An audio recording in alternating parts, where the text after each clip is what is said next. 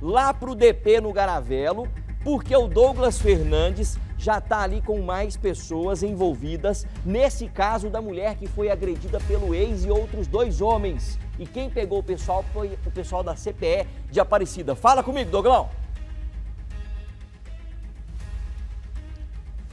Exatamente, viu? Nós ainda estamos aguardando esses três suspeitos de 20, 26 e 30 anos aqui no, no na central de flagrantes, Oi. na verdade, aqui do setor Garavelo. Só que a vítima chegou neste momento aqui, Branquinho, e vai conversar pra, com a gente porque ela é, viveu momentos de muita tensão, de muito terror na mão desses três suspeitos, né? Ela tem 19 anos e, detalhe, ela está grávida de três meses do ex-companheiro, que é o Ramon.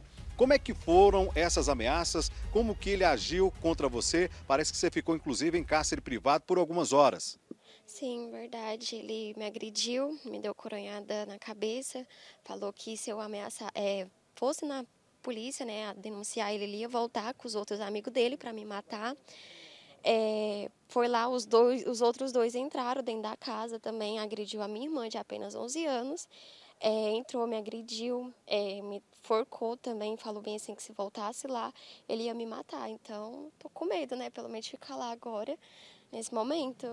Ele disse que se você chamasse a polícia, ele iria tomar uma atitude mais drástica. Por que, que você decidiu ir contra o que ele falou? Assim, porque eu acho que não deve ser, é, ser desse jeito, né? É, ele foi lá, me ameaçou, é, entrou pro lado de dentro da casa da minha mãe, quebrou tudo, é, bateu em mim também. Isso não é a primeira vez, ontem também aconteceu. Eu tenho marcas no corpo também do, da prova que não deixa de eu mentir. Então eu quero que tome as atitudes, né? Porque ficar apanhando a mão de homem vai ser isso até quando a lei. E qual foi a participação dos outros dois companheiros que ele chamou para ir até a sua casa? Eles entraram, pularam o muro do lado de casa. Eu falei para eles não entrar, falei para minha irmã fechar a porta. Eles meteram o pé na porta. Um segurou a minha irmã de apenas 11 anos. Ela estava gritando muito enquanto ele estava deu uma gravata no meu pescoço e deu uma coronhada na minha cabeça. Eu acho que era para desmaiar na hora. E o outro já entrou lá para dentro de casa, já quebrando tudo. Falou bem assim que ia voltar lá à noite para me matar. O que passou na sua cabeça? Que ele ia matar eu e a minha irmã naquela hora. Foram momentos de muita tensão. Você não tinha ninguém ao seu lado para poder te ajudar. Não tinha ninguém do meu lado. Vai falar para a mãe dele, a mãe dele fica achando ruim, então tomei essas medidas. Foi o único jeito de eu me proteger agora. Nesses três meses, na verdade, quatro meses de relacionamento, ele sempre foi bastante conturbado, né? Essa relação entre vocês dois. Sim, ele sempre ficava me ameaçando, falando que se eu terminasse com ele, ele ia me matar. Se eu ficasse com outra pessoa também, ele ia me matar. Eu tô grávida de três meses dele. Então, pra mim não dá certo mais viver desse jeito, ele me agredindo. Foi justamente por causa das traições dele que você decidiu dar um fim. Sim, foi ontem. Eu descobri que ele estava me traindo. Tomei o celular da mão dele, ele quebrou meu celular e me agrediu, mordeu minha orelha. Aí eu peguei e fui embora. Aí quando foi hoje, ele esteve lá em casa fazendo isso que ele fez. Você teme pela sua vida nesse momento? Tenho. Tem muito.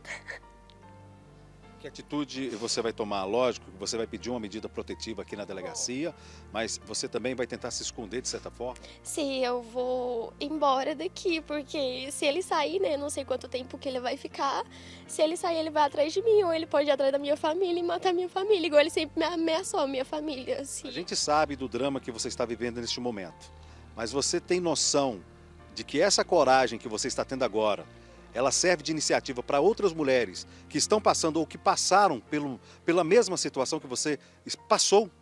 Sim, é, mulher que apoia de homem, eu acho que não é para viver isso a vida toda. Tem delegacia, tem delegacia da mulher que pode ir lá. É, a gente não merece ficar apoiando na mão de homem, porque eles vão ficar fazendo essa eternidade se a gente ficar aceitando e abaixando a cabeça para eles. O Ramon sempre foi assim? É a segunda vez que ele me bate, então acho que se eu der outra oportunidade ele vai me bater terceira, quarta, então é melhor parar por aqui. Em algum momento ele pensou no seu filho, no filho que vocês dois vão ter juntos? Acho que não, porque senão ele não tinha fazido isso, né? Ele não tinha ido lá em casa me bater, agredir a minha irmã também, né? Porque os outros dois seguraram ela.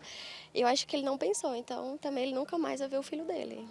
Vou embora daqui e é isso. Olha, obrigado pela sua atenção, força nesse momento, porque você está servindo de exemplo para outras mulheres que estão acompanhando o nosso programa neste momento, Branquinho. E ela tem apenas 19 anos, está grávida de três meses, um relacionamento conturbado que durou apenas quatro meses e essas agressões que começaram e se estenderam, né, o tenente? Isso, agressões, agressões que começaram na noite de ontem, né, e continuaram hoje, ao se associar, né, a mais dois criminosos que aterrorizaram a vida dessa vítima, né, igual você relatou anteriormente. E ela teve a força né, que toda mulher deve ter, que passa por isso, não ser vítima de agressão e ficar calada. As equipes de CPE atuaram porque, segundo informações dela, o indivíduo estaria portando uma arma de fogo. Inclusive, logrou êxito né, e ser abordado. Os três criminosos em um, um veículo foram abordados e constataram realmente que estava em posse né, de, um, de uma arma, um simulacro né, e evitando que acontecesse um mal maior. Com certeza ele ia consumar esse fato agora, igual ele, ele relatou anteriormente. Agora, Branquinho, só para a gente encerrar essa participação, esses três juntos têm várias passagens é, por vários furtos, já tem uma ficha criminal bastante extensa, viu?